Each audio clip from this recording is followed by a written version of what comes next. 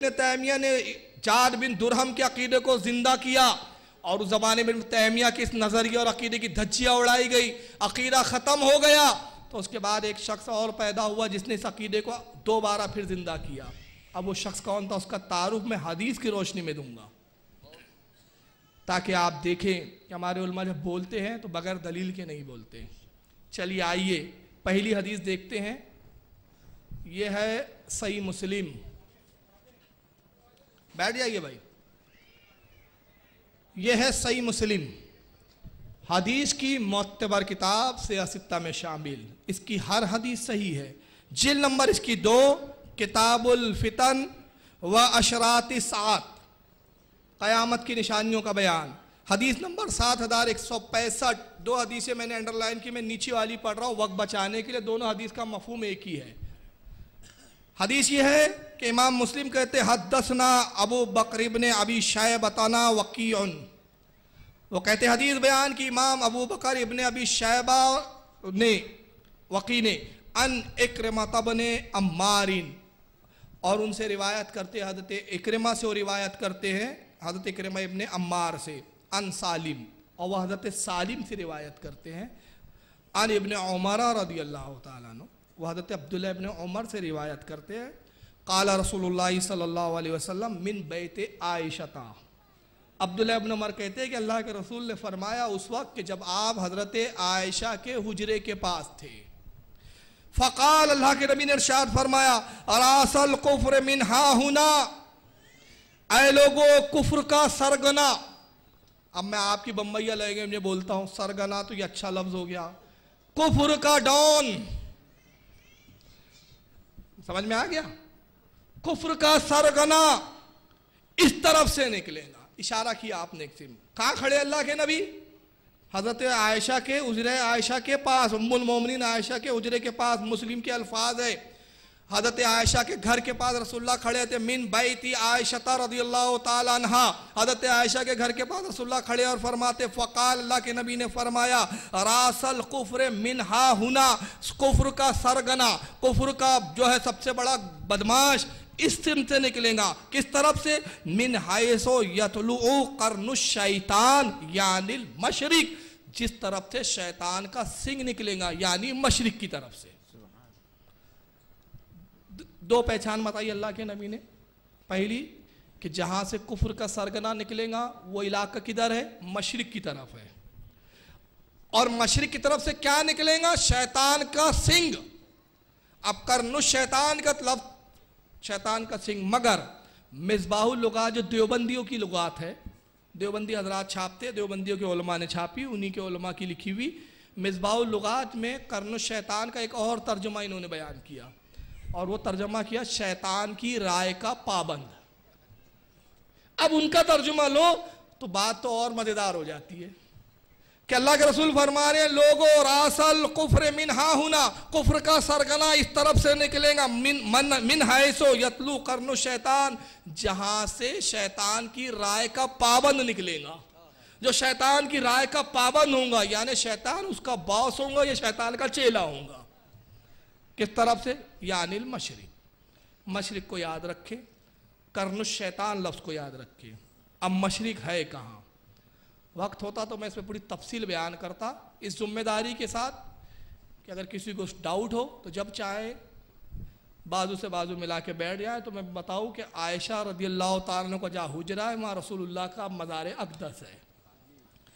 रोज़ रसूल की तरफ़ जाए और सरकार के रोज़े का जो हज़रत आयशा का दरवाज़ा था, उसी दरवाजे की सिम खड़े हो जाए। और जब वहाँ से मशरक की तरफ़ देखे तो कौन सा इलाका आता है? वह आता है नजद का इलाका। और नजद का नाम इन्होंने बदल दिया। क्यों? हदीस में बताया था नजद के बारे में। नाम रख दिया इन्होंने रियाद। अब आइए, ये नजद के लोग थे कौन? इनका किरदार क्या था? ये बुखारी की हदीस से इनको बुखार लाए।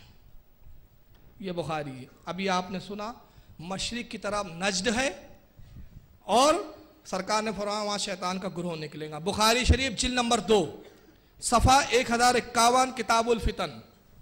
इमाम बुखारी रदी अल्लाह तु हदीस बयान करते हैं, कहते हैं, हदसना अली इब्न अब्दुल्ला हदीस बयान की कहते हैं, अली इब्न अब्दुल्ला ने काला हदसना अजहर उबन सादिन। कहते हैं कि अजहर इबन साद ने उनसे हदीस बयान की अन इबन औनिन, और उन्होंने रिवायत की हज़रत इबन औन से अन नाफ़िन और उन्होंने हज़रत नाफ़े से रिवायत किया अन इबन उमर रदी अल्लाह तुमा और उन्होंने हज़रत अब्दुल्ला इबन उमर से रिवायत किया, काल। अब्दुल्ला इबन उमर कहते ज़करन नबी सल्लल्लाहु अलैहि वसल्लम, काला, अल्लाहुम्मा बारिक लना फ़ी शामिना, अल्लाहुम्मा बारिक लना फ़ी यमनिना। वो कहते हैं, ज़िक्र करते हुए कहते हैं कि अल्लाह के नबी ने एक मरतबा ज़िक्र किया, ज़िक्र फरमाया और दुआ की। और दुआ में कहा ए अल्लाह, बरकत नाजिल फरमा, बरकते दे। कहा, मुल्क शाम में, मुल्क शाम में बरकत नाजिल फरमा, मुल्क यमन में बरकत नाजिल फरमा। वफी नजद, कालू वफी नजदना। ये नजदी के भी लोग वहाँ थे। अब देखिए, हदीस में तो लब नजदी आ गया साफ़। वफी नजना कालू वफ़ी नजना। उन्होंने कहा, नजद के लोगों ने अल्लाह के नबी, नजद के लिए भी दुआ कीजिए। काला अल्लाह बारिक लना फ़ी शाम अल्लाह बारिक लना फ़ी यमनना। फिर रावी कहते कि अल्लाह के रसूल ने फिर दोबारा कहा अल्लाह, बरकत नाजिल फरमा। मुल्क शाम में, मुल्क यमन में, कालू या रसूल अल्लाह वफी नजना फिर उन्होंने दोबारा कहा, नजद के लोगों ने अल्लाह के नबी अल्लाह के रसूल, नजद के लिए भी तो दुआ कीजिए। फ़ाजन्नहू काला फ़ी सलासिता। सलासित कहते हैं, रावी कहते हैं, हज़रत अब्दुल्ला उमर के, मैं गुमान करता हूँ, मेरा ख्याल है कि शायद जब तीसरी बार उन्होंने कहा वफ़ी नजना अल्लाह के नबी नज के लिए। तीसरी बार कहने के बाद अल्लाह के नबी ने फरमाया होना का जलाजिलो वल फितानो बिहा यतलू करनुशैतान वो जलजलों की जगह है। वहाँ जलजले पैदा होंगे। वल फितानो, वहाँ फितने पैदा होंगे। वो फितनों की जगह है, फितने होंगे वहाँ। वबीहा यतलू करनु शैतान और वहाँ से शैतान का गुरह निकलेगा। कहाँ से निकलेगा? नज से। तो तीन जगहों के यहाँ नाम आया। अब हदीस की तरह एक खासियत देखे आप। इमाम बुखारी ने इसको लाया। अब बड़ी खास बात सुने आप। इस जगह तीन मुल्क, तीन मुल्कों के नाम है। मुल्क शाम, यमन और नजद दो के लिए दुआ की जा रही है। नजद के लोग मौजूद है, शाम के लोग मौजूद नहीं है वहाँ। यमन के लोग मौजूद नहीं है वहाँ। इस्लाम यमन में भी नहीं पहुँचा रसूल के जमाने में और शाम में भी नहीं पहुँचा नजद में पहुँच गया था। आप इस पर थोड़ा सा तवज्जो दें मैं जो बोलना चाह रहा हूँ। क्यों? मुल्क शाम फतह हुआ हज़रत उमर इबन खत्ताब के ज़माने में। यमन फतह हुआ हज़रत उमर इबन खत्ताब के ज़माने में। और दौर रिसालत है। ज़ाहिरी नबी ज़ाहिरी हयात में नबी मौजूद मदीने में। और दुआ क्या हो रही है? मुल्क शाम में बरकत, मुल्क यमन में बरकत। और नजदी के लोग बाहिर ईमान ला चुके। ईमान के दावेदार खड़े हैं। यार रसुल्ला नजदी के लिए नबी नजदी के लिए दुआ नहीं कर रहे। वजह क्या थी?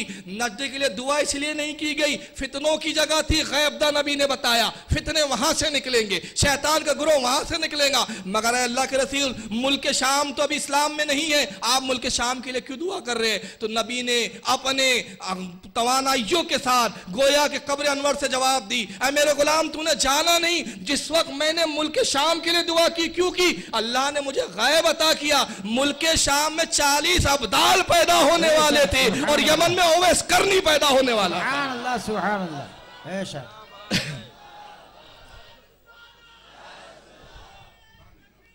तो जिस जगह अबदाल होते हैं वो जगह बरकतों की जगह होती है। जिस जगह ओवैस करनी जैसा वली कामिल हो वो जगह बरकतों की जगह होती है। और जहाँ से नजद के अयाश निकले वो जगह फितनों की जगह होती है।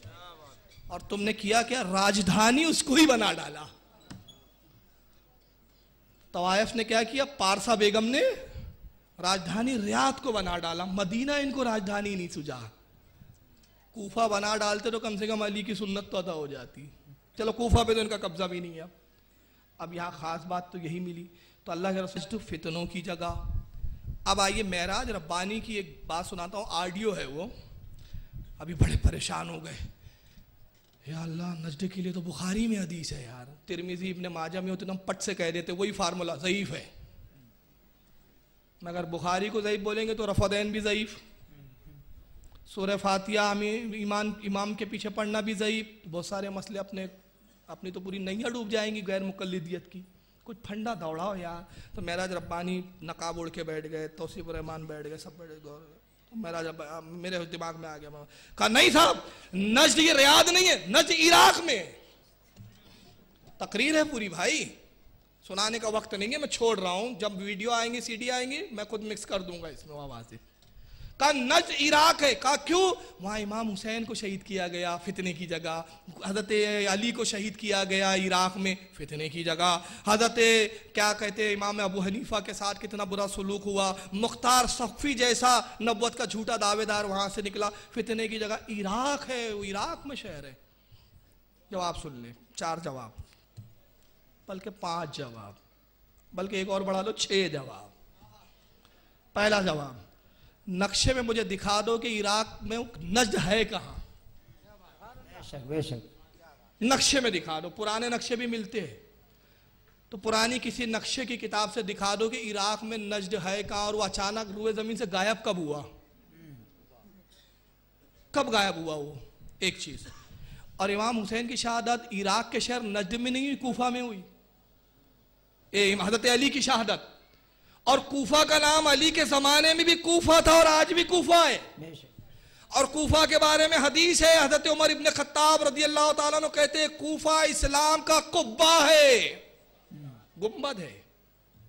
और हज़रत अली फरमाते हैं कि मदीने के बाद अगर कहीं हिजरत करना बेहतर और अफसल है तो वो कूफा है। जब इमाम अबू हनीफा पे कभी बोलने का मौका आएगा ना तो फिर कूफा की फजीलत सुनाऊँगा मैं, इंशाल्लाह। कितनी फजीलतें आई है कूफा की। कूफा तो पहले भी था। हज़रत इमाम हुसैन की शहादत कहाँ हुई? करबला में। करबला करबला था, आज भी करबला है। और जो शहीद करने आए थे नजद के लोग नहीं थे। मुल्क के शाम के थे यजीद के फौजी और कोफा के गद्दार और बाकी थे। इसके भी कोई नजद का ताल्लुक नहीं। मुख्तार सख्फी भी कोफा से निकला। और उसके बाद जितने फितने और फसाद हुए, हलाकू का हमला, तातारियों का हमला और भी जितने हमले हुए, सब बगदाद पे हुए। बगदाद उस वक्त भी बगदाद था, आज भी बगदाद है। तो ये नज गया कहाँ? गायब कैसे हो गया रुए ज़मीन से? अब एक चीज़ सुने। मुस्लिम के अल्फाज है कर्न शैतान। शैतान का सिंह निकलेगा यहाँ से। बुखारी में भी आया कर्न शैतान।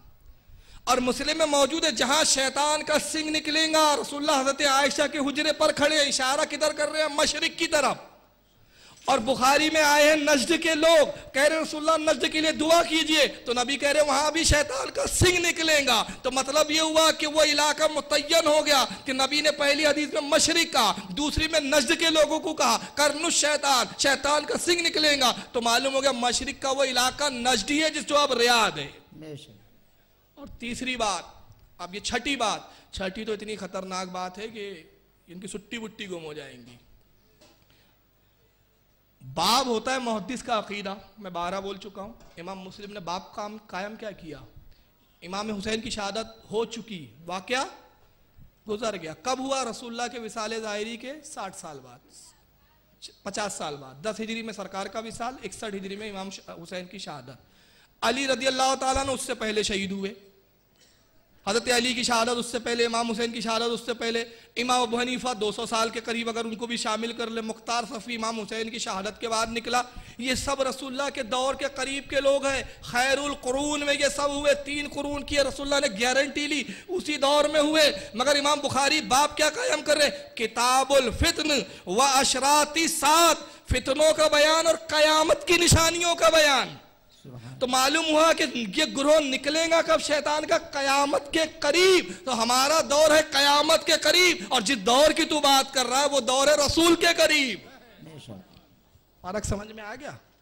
तो मतलब ये हुआ कि वो नज्द जो है, वो इराक का हिस्सा नहीं है जनाब। वो नज्द जो है, वो रियाद है।